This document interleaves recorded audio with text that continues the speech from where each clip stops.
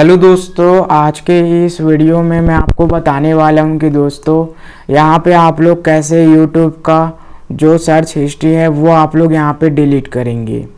तो दोस्तों अभी अभी जो है यूट्यूब का एक नया अपडेट आया हुआ है।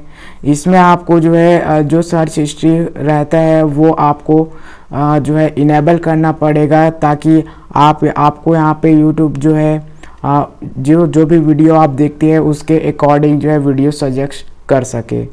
बट यहाँ पे एक दिक्कत ये हो रही है कि यहाँ पे जो आपका जो सर्च हिस्ट्री है, वो यहाँ पे आपको इस तरीके से शो करता है।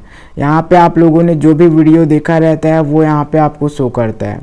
तो दोस्तों, ये एक आपका जो है घाटा हो जाता है कि आप जो भी वीडियो देखते हैं, वो आप कोई भी पता कर सकता है कि आप यहाँ पे किस वीडियो को देख रहे हैं। तो इस वीडियो में हम बात करेंगे कि कैसे आप लोग यहाँ पे इसको हटा सकते हैं। तो जो है, इसको हटाने के लिए आपको यहाँ पे क्या करना होगा, आपको यहाँ पे व्यू ऑल पे क्लिक करना है और थ्री डॉट पे क्लिक करना है।